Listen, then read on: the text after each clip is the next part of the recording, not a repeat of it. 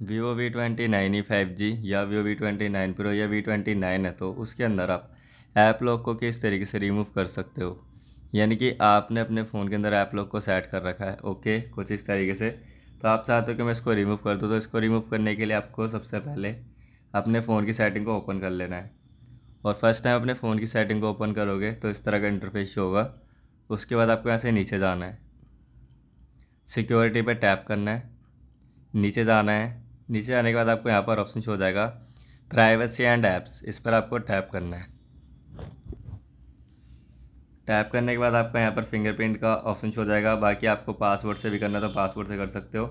तो हम यहाँ पर फिंगरप्रिंट से करेंगे बोली ओके और यहाँ पर आपको ऑप्शन शो हो जाएगा ऐप इन पर इस पर आपको टैप करना है। और जो जो ऐप आपके यहाँ पर इनेबल है, इनको आपको ऑफ़ कर देना है।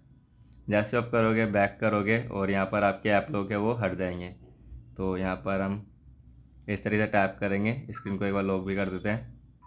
आप देख सकते हो कोई लॉक नहीं लगा और साथ के साथ हमारे सारे ऐपों में से ऐप लॉक हट चुका है। तो इस तरह से अपने फ़ोन के अंदर ऐप लॉक को रिमूव कर सकते हो। अगर वीडियो चाहिए तो वीडियो को लाइक शेयर सब्सक्राइब करें। मिलते हैं नेक्स्ट वीडियो में। जब तक के लिए बाय